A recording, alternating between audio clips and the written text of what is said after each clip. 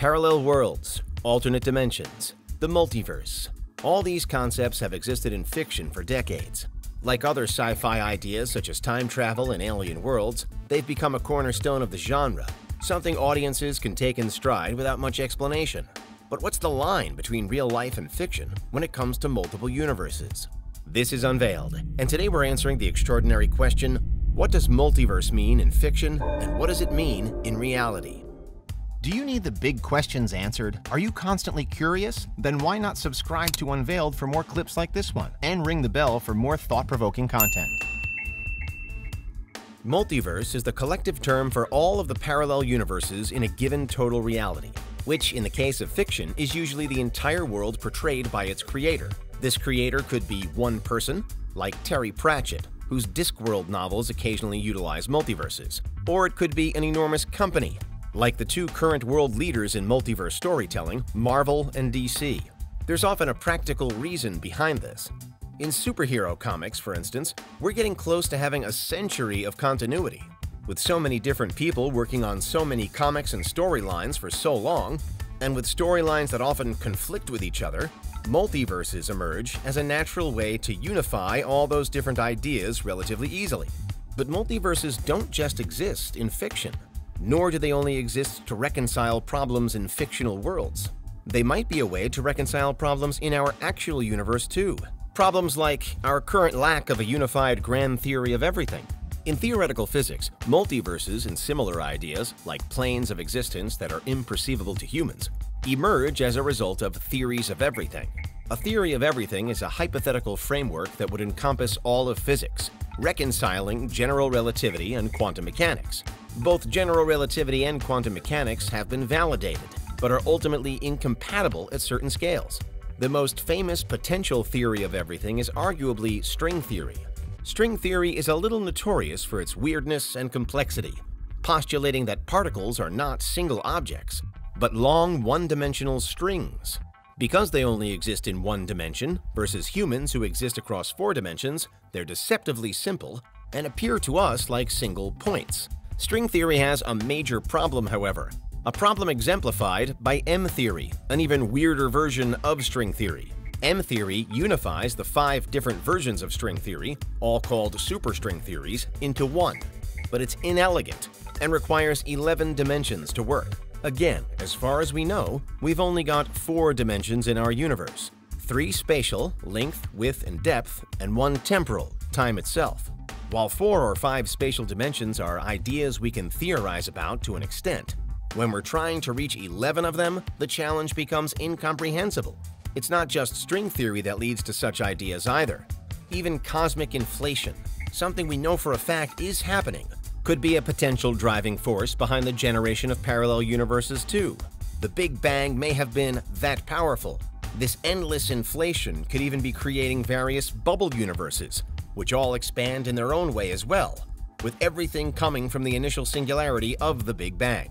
But it's not likely we could ever reach one of these other bubbles. And perhaps the reason it's taking so long to come up with a theory of everything is that we're not currently accounting for these different universes, separate or related to our own as they may be. In fiction, however, ideas like string theory aren't usually taken into account when it comes to the multiverse. The multiverse simply exists, often as a solution to inconsistent stories or temporal paradoxes. Rather than having time travel create a paradox, a parallel universe is created to account for any differences. Getting back to an original universe or timeline can pose a lot of problems, however. In reality, it's also theorized that every single decision everybody makes could spawn a parallel universe in itself, with almost no differences except for that one thing even if it does trigger a butterfly effect that could eventually, potentially, lead to huge changes overall. In this way, there are possibly infinite multiverses within infinite possibilities, both in fiction and reality. Sometimes in fiction, parallel universes don't even need to abide by the same laws of physics, and the same could again be true in reality. In real life, there are no omniscient fiction authors who know exactly how things will go and how events lead on from each other. You'd have to have the knowledge of a god to be able to see the butterfly effect in action in the real world, for example, beyond a few small instances of one thing leading to another in your life. We just don't know how situations could change based on people making different decisions. There's also the fact that fictional multiverses are again often tied up with time travel. In the real world, most of the evidence still suggests that backwards time travel is impossible because you'd have to break the speed of light to manage it. So a mechanism to create a parallel universe to account for a temporal paradox might not actually exist. In the here and now, there's also no real reason why a new universe would need to be made to account for different choices, even massive choices that have huge repercussions on our species. And even in an existing multiverse, the different universes might not have any real connection to each other at all. Maybe they're not even infinite, and there's a set number of universes out there, none of which interact with each other. We just don't know, and that's one of the biggest problems with multiverse theories. But in fiction, they're almost always clearly linked. Those problems are sidestepped. In reality, and like many areas of hypothetical cosmology, string theory included, it's interesting to research, but there are plenty of naysayers. Still, once black holes were believed by some to be far too weird to actually exist, and those people were proven wrong, so perhaps the multiverse will go the same way. But if the multiverse and parallel universes do exist, could we, the humans of real life, travel between them like characters of sci-fi? There have arguably been hints towards yes. In 2020, bizarre stories surfaced in many outlets claiming that NASA had discovered evidence of a quote, parallel universe where time runs backwards.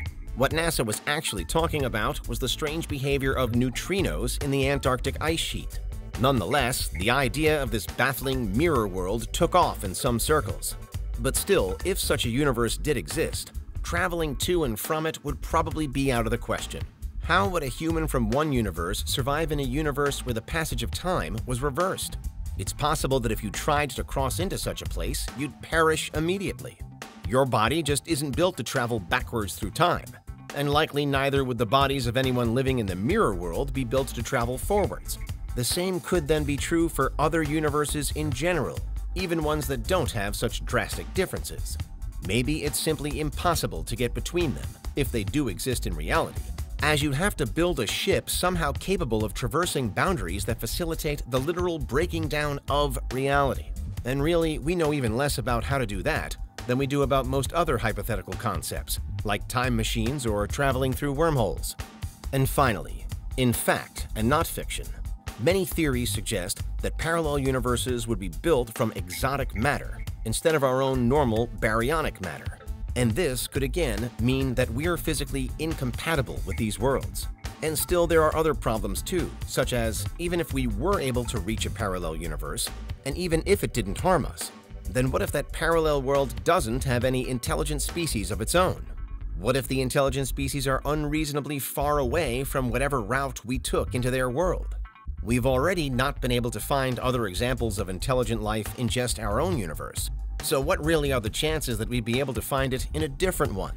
Unless a parallel version of humanity is trying to break through into our world at the exact same time, which actually has happened in fiction, it just doesn't seem all that likely that we'd have much luck, in fact. But what's your verdict? Is the multiverse more science fiction, or could it yet be true reality? Ultimately, as far as we know, there's no real way to prove the existence of the multiverse at present.